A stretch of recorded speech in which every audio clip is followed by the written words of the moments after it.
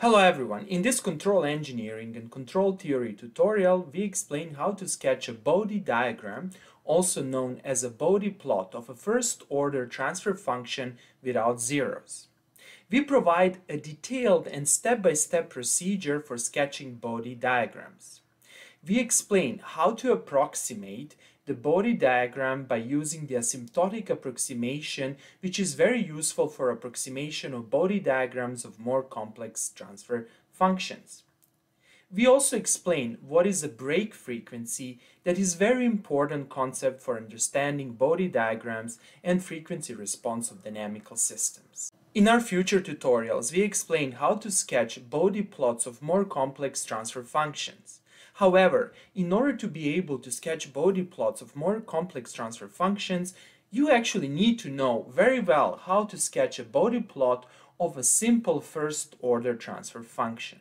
Consequently, this tutorial is very important for understanding more complex cases. But before I start with explanations, I need to mention the following. It took me a significant amount of time, energy and planning to create this completely free video tutorial as well as more than 450 free video tutorials that you can find on my YouTube channel. And consequently, I kindly ask you to press the like and subscribe buttons. Thanks a lot. We explain the sketching procedure by considering a concrete example. Our transfer function has this form. W of s is equal to 10 over s plus 0.5. In this equation, s is the Laplace complex variable.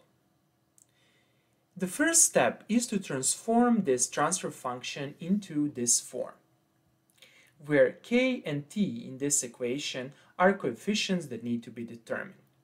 So what we have to do over here, instead of 0.5, we have to write 1. So let's do that. W of s can be written like this. Since in the denominator here I need to have 1, I will take 0.5 out and inside I will have what do we have over here? We have 1 over 0.5, and that's actually 2, s plus 1. And over here, in the numerator, I have 10. Now, 10 over 0.5 is actually 20. So in the numerator, I have 20 over 2s plus 1.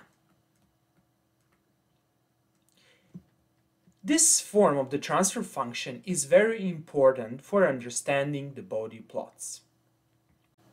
The importance of this form will become clear by the end of this video tutorial. The next step is to compute the so-called sinusoidal transfer function.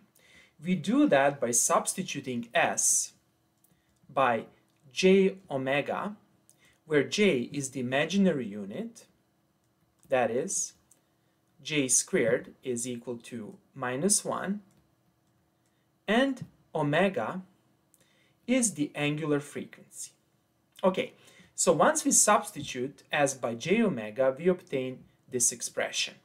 W of j omega is actually 20 over, now over here I have j 2 omega plus 1. This transfer function is the so-called sinusoidal transfer function. The sinusoidal transfer function is actually a complex number. The next step is to write this transfer function in a polar form. So how to do that? Well, we need to express this complex number in the denominator of the transfer function in the polar form. Let's do that. Okay, W of j omega is in the numerator I have 20 multiplying e to the power 0j. This is the polar form of the real constant. This is the argument of the complex number or the phase in the case of dynamical system and it's equal to 0. What happens in the denominator? This is a complex number. And I need to compute the modulus of this complex number. the modulus is square root of real part plus real part squared plus imaginary part squared. The real part squared is 1 and the imaginary part squared is 4 omega squared. Then multiplying the argument of the complex number and over here the argument is actually the angle. It's the arctan or the inverse tangent function of the imaginary over real. The imaginary is actually 2 omega and the real is 1. And here it is. Now we can immediately see the modulus of this complete complex number. The modulus is actually 20 over square root of, let's write it down nicely, 1 plus 4 omega squared. And the argument of this complex number, since we have 0 over here and we have j arc arctan 2 omega over 1, it's simply minus j arc arctan or the inverse tan function of 2 omega. And here it is. Here's the polar form of our sinusoidal transfer function. In the most general form, the transfer function can be written like this. Where this number m of omega is the magnitude, in our case, the magnitude is given over here, and it's also written here. And multiplying e to the power j phi, where phi is the phase, and in our case, the phase is minus arctan to omega. The function m is called the magnitude response. The function phi is called the phase response.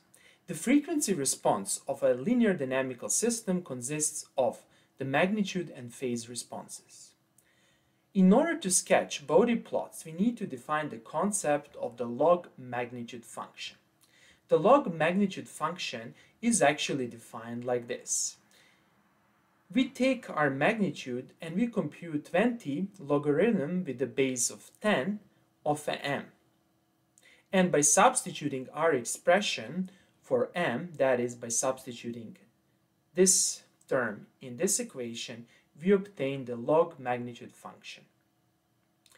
The Bode plot consists of the two plots. The first plot, or the top plot, shows the log magnitude function.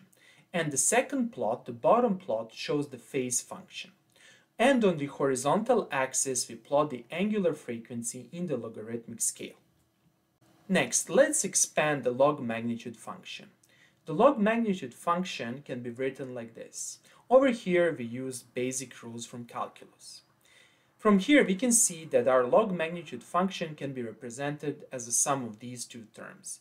L1 term given over here, and if you compute this logarithm we obtain 26.02, and the second term given over here. Okay, so to sketch the Bode plot we first need to sketch this function. And here's how this function looks like. On the horizontal axis, we put logarithm of frequency. On the vertical axis, we put the magnitude function. And over here, we just have a constant magnitude that doesn't depend on the frequency. And here it is. Perfect. Completely independent of frequency. Next, we need to sketch the log magnitude plot of L2. The expression for L2 is given over here. To sketch this plot, we need to use asymptotic approximation. Let us first consider the general form of the first order transfer function. Here it is. This term is actually the general form of the expression that participates in our original transfer function. That is, this is the general form of this term, where in our case, t is equal to 2. The log magnitude function of this transfer function is given over here. Now, when omega t is much smaller than 1, we can see from this expression that minus 20 logarithm 10, square root of 1 becomes approximately equal to 0. And this is only under the condition that omega t is much smaller than 1. Okay, so we obtain one asymptote. When omega approaches to 0, we have a horizontal straight line, and this horizontal straight line is just 0, always 0. On the other hand, when omega t is much larger than 1, we can see that this second term dominates the first term, and we simply obtain this expression, minus 20 logarithm with the base 10 omega t. This is very important. In the logarithmic scale, that is on the Bode plot, this is a line with a slope of minus 20 decibels per 10 times increase of the frequency omega. This slope is actually called a minus 20 dB per decade. A decade means a 10 times increase in the frequency. So what happens over here when the frequency increases 10 times, we will go down for minus 20 dB. You will see this later on on the Bode plot. Now, we need to define the concept of the break frequency or corner frequency.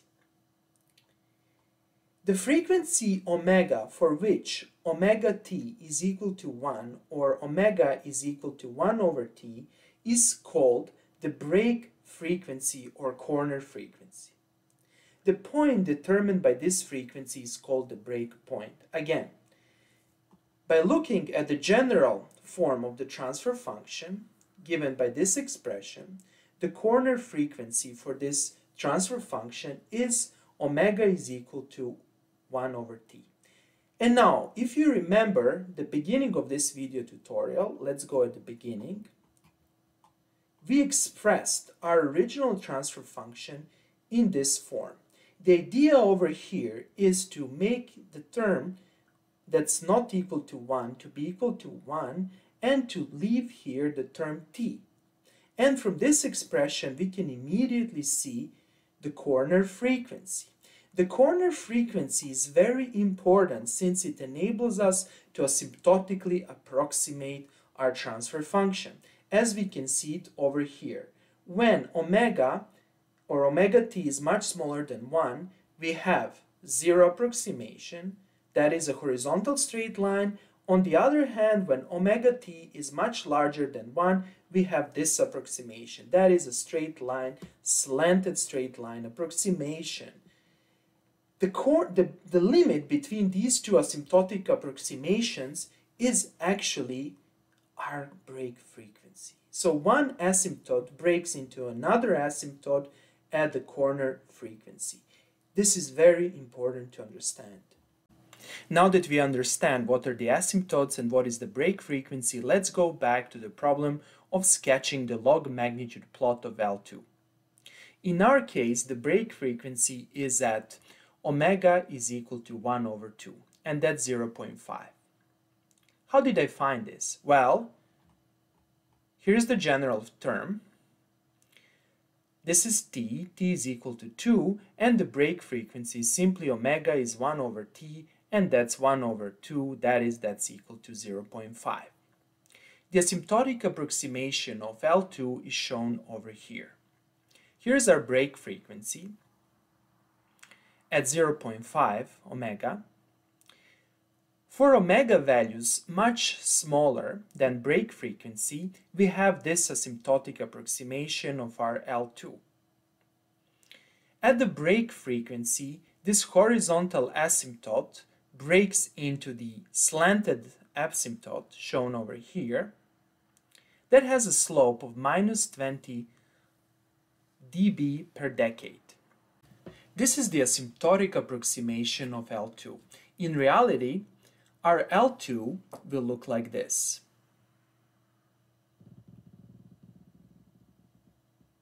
And after here, the graph of L2 will approach the asymptote.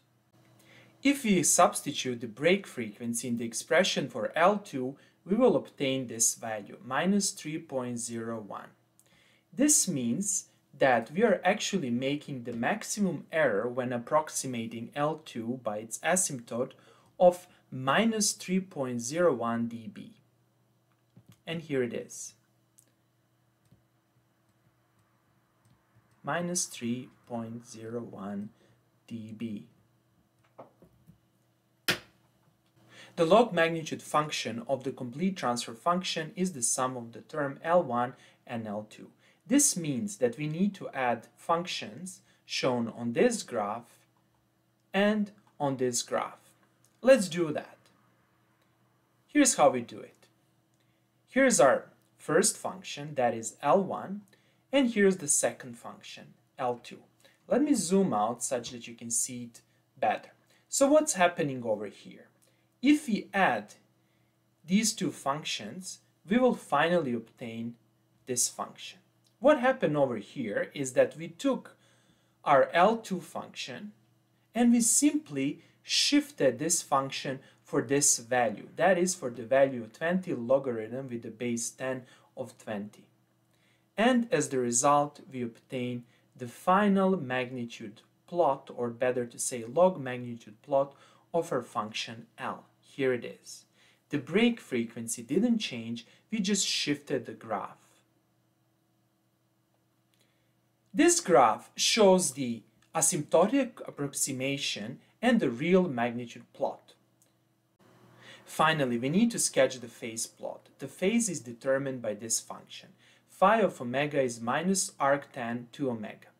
We know that arctan function is an increasing function of omega. This means that minus arctan is a decreasing function of omega. Then, when omega is equal to 0, we have phi is equal to 0. This means that when omega tends to 0, our graph will tend to 0.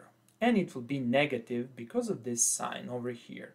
On the other hand, when omega goes to infinity, we see that phi goes to minus 90 degrees. On the other hand, when omega is equal to the break frequency, we have over here 2 multiplying 1 over 2, and that's 1. Arctan of 1 is 45 degrees, and that's precisely the point over here. And that's it. That's our phase plot. And finally, this graph shows the complete Bode plot of our transfer function. The top part, that is the first graph, is the log magnitude plot, and the bottom graph is the phase plot. Okay, that would be all for today. I hope that you like this video. If you like the videos I'm creating, please press the like and subscribe buttons and see you in the next video tutorial.